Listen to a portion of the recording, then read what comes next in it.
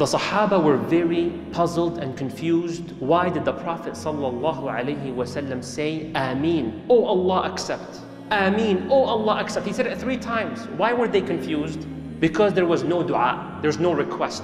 You say a dua, then you say Ameen. So the Prophet said Ameen, but there's no dua. So he said, Ya Rasulullah, what was that? So he said, Atani Jibreel. Jibreel, the angel that Allah sent to me, he was making dua. Oh, so the dua was from Jibreel. Yes. What was his dua? He said, Jibreel alayhi salam, Oh Allah, humiliate, ruin, destroy. Allahu Akbar. Who is it? The one who witnesses Ramadan and does not end up being forgiven. So the Prophet said, Ameen. May Allah accept your dua, Jibreel. Allahu Akbar. You might say, but Rasulullah is rahmatan lil alameen. The Prophet of Allah is mercy to all beings.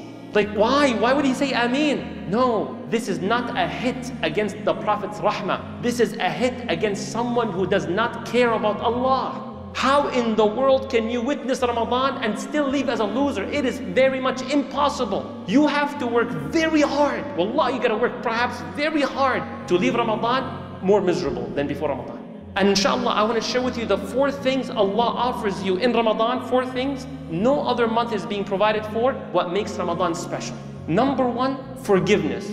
Forgiveness can be any time, any day we make tawbah. No, listen, the forgiveness package Allah gives in Ramadan, you will not find anywhere else. Let me give you three ahadith about forgiveness. Number one, the Prophet ﷺ says, Man sama Ramadan, whoever fasts the month of Ramadan, imanan wahtisaba, two conditions. Out of faith, I have to do this. It's not culture, not because mom and dad does it. No, no. Iman, believe, I have to do it. Wahtisaba, and I hope for the reward of it.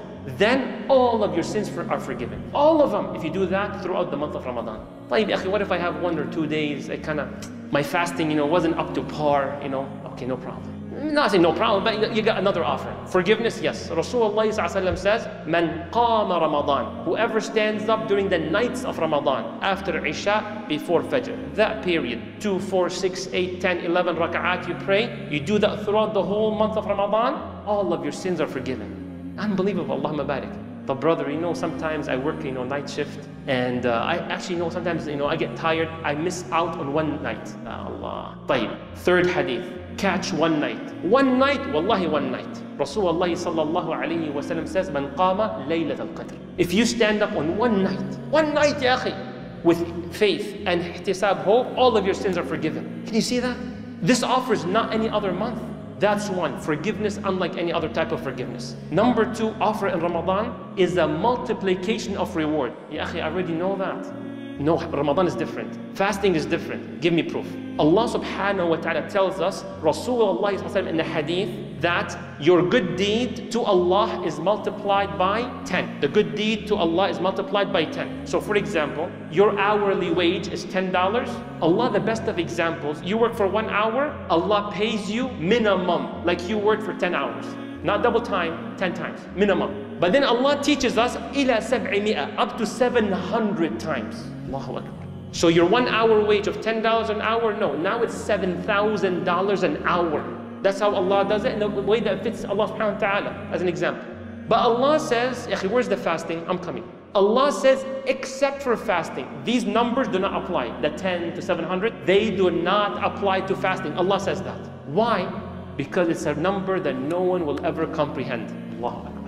May Allah allow us to appreciate Ramadan. May Allah allow us to appreciate fasting. Allah says, إِلَّا الصَّمْ فَإِنَّهُ لِي وَأَنَا أَجْزِي بِهِ I will personally, Allah said, I handle it. No angel will be able to understand it. No angel will comprehend it. No human being, no hadith will be able to provide it for you to understand the reward. So Allah says, I will personally take care of it. وَأَنَا أَجْزِي بِهِ Give an example of the multiplication of reward.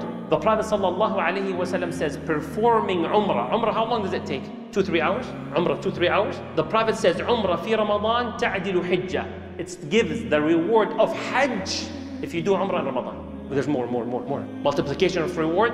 What about Laylatul Qadr? Allah says in the Quran, Laylatul Qadr is equal to a thousand months. La, no. No, brother, it is khayr min alfi shahr. What's the word? Khayr. It is better than a thousand months. So Allah knows the limit. So one night of Laylatul Qadr, you worship Allah, is like almost more than 83 years. So if you witness 30 Ramadans, 30 Ramadans in your life, it's like you lived 2,400 plus years, 2,400 years old of ibadah to Allah Jalla Jalaluh. You see how the Prophet said Ameen? Now you feel him? Now you see why he said Ameen. May you be destroyed because you gotta be miserable human being. Type that's a multiplication of reward. Offer number three out of four. Lifetime pass protection from hell. Forever. How is that? The Prophet ﷺ says, Inna lillah, Allah subhanahu wa ta'ala selects during iftar time. When iftar time comes, Allah selects people to be freed from hell forever. Think of like you got a membership, you will never go to hell. Period. But brother, what if that guy gets that pass? They will never go to hell. Allah chooses them but they end up being a kafir. No, Allah will not make them a kafir because of that one night. Allah will protect them. Allah will guide them in every way possible because Allah never breaks His promise. If I say you're freed from hell, you are freed from hell, period. When you are selected, that means you gotta work hard. If I tell you at your company, every day they pass around a $10,000 bonus, what will you ask? What's the requirement? So if I tell you every night Allah frees people from hell, you will say, how can I get selected? That's how a believer should behave in wonder. So the, I'll give you an example, is that you gotta work really, really hard. Rasulullah sallallahu alayhi wasallam, look what the Sahaba said about him. كان أجود الناس. He was the most generous human being that ever walked on earth. His generosity is unbelievable. Are you ready? وكان أجود ما يكون. And his generosity goes to another level in Ramadan. Ya Allah. So because utaqa, there's freeing from hellfire, there's forget all that stuff. So please, please, sometimes people say statements without thinking, wallahi. Akhi, ana my Ramadan is like before Ramadan. I, subhanAllah, my schedule stays the same. I always did Quran. Akhi, shame on you. Hey, to say stuff like that. Rasulullah was able to upgrade his ibadah. He was able to upgrade. You say, well, my Ramadan will be like before Ramadan because I work really hard. No, you gotta be humble. Fear Allah subhanahu wa ta'ala. Ramadan is a whole other level of ibadah. Ramadan was not meant for us to go to Florida and take a vacation. Ramadan was not meant for us to do things that are can be postponed to after Ramadan. The last 10 nights of Ramadan, what did the Prophet do? Sleep is over, it's time out, no sleeping. You sleep in the day. The business, يا business بعدين. Use your vacation days. Vacation days, last 10 nights of Ramadan. That's what the wives of the Prophet ﷺ, they learn from them. إذا دخل العشر, when the last 10 nights they enter, what happened? He rolls up his sleeves, Rasulullah, in an example. And then وإيش? And he ties around his waist. وأيقظ أهله and he wakes up the whole family. Let's go. Let's work hard. All night long, the last 10 nights. This is the attitude of the believer in Ramadan. Fourth and last one. Allah promises to make you happy. Promise. Give us proof. Rasulullah sallallahu alayhi wasallam teaches us how Allah says, Inna lis-sa'imi farhatan. The one who's fasting has two moments of extreme joy or of high level joy. The moment you break your fast, and we all know how exciting that is, right? What do we have for iftar? That happy moment, uh, the Prophet says, that's one of the two. What's the other moment of happiness? Allah teaches us, وَفَرْحَةٌ حِينَ يَلْقَى رَبَّهُ The day you meet Allah subhanahu wa ta'ala. What will happen? Surprise.